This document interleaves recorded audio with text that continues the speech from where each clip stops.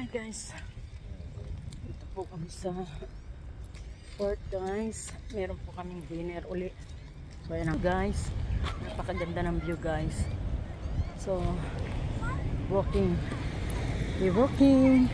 Ayan diyan po kami kumain before we go uh, before uh, we go in the Philippines. We met the best the friend of my hubby the lawyer and the very popular uh, cricket guys. So I think it's not open yet but I have a people there. This is the popular popular uh, restaurant guys. Yan. A lot of popular Austral uh, restaurant here guys. Yan. Yan po ang name. Napakainit dito guys. My god. So pupunta po kami dun sa kaibigan ni David. Mag uh, meron magmi-meet po kami. Nintay ko lang po ang aking jowa. So baka may gusto mag-park dito. So ayan ang aking jowa nagbaba. Bayad siya ng ticket. Ito po yung car ng aking friend. Yan, bagong build daw nila yan. Napakaganda. At maganda po ang kanilang unit. Malaki guys. So, kung gusto niyo pong mang mangupahan o dito sa port, punta po kayo sa kanyang unit. Napakaganda at sulit naman po.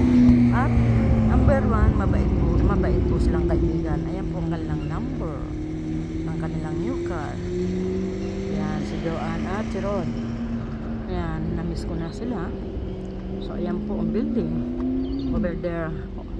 Ayan po ang dagat. So, lalakad tayo guys lang natin ang aking gawa napakainit dito guys sa port yan po kung gusto mong mamasyal uh, ferry boat. Yan meron pong park. Marami pong beautiful places here. Especially a lot of flower.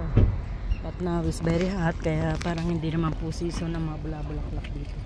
So yan na lalakad po kami ng akin ayan guys. Lakad-lakad lang. Ganda ng place ayan. Dito po kami dati kumain. Yung mga bigan niya. Ayan. Yeah. So ayan po guys. Ayan. Ayan. Po guys. Yep. Ah the breeze good darling. Ayan.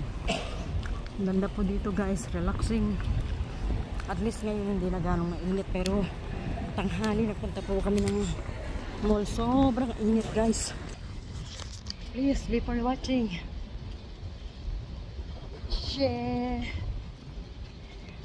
and like and touch the bell my youtube channel So bukas po uwi na kami. Back to normal. Yan na po. Lakad-lakad na po tayo guys. Konting uh, maganda. Pagkirot ng konti. Pantalin ang oras. Kasi pag nasundun na po sa sa Christmas Island, wala na po yung ganitong mga uh, beauty beauty. disaster na naman guys trabaho na naman so it's okay importante may trabaho guys tapos pagka bakasyon na naman balik na naman sa paganda. Yun lang naman ang buhay di ba? Paganda dito pag merong time. Yan ang aking jowa. Yan po. Pagkita po kami guys. Dito naman tayo sa tayo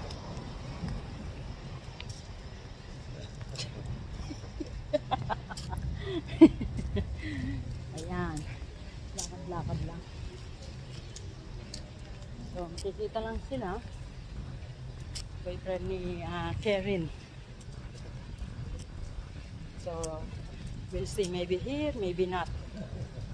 So, I don't. 5.30. So, we'll see. Nandito na ang boyfriend ni Karen. So, yan na po. Pasok na tayo dito, guys. Malapit na kami. Ah, malayo-layo pa pala. Lakad-lakad lang guys. Habang may buhay. Habang may buhay, lumakad. Pag hindi na pwedeng lumakad, mag-wheelchair ka na lang. Ayan, napakaganda ng fort guys. So far, I like it, the place. Ayan, lalo na po yung weather. Gusto gusto ko yung mga planta yan. Ayan. Dito po kami. Pagkita. So, see, dito na kami sa aming lugar na pupuntahan. So, hindi po namin alam kung nandito na siya. So, ah, ito na po ang lugar na saan sila makikita itong lugar this place so, pasok po tayo mga kapatid here we go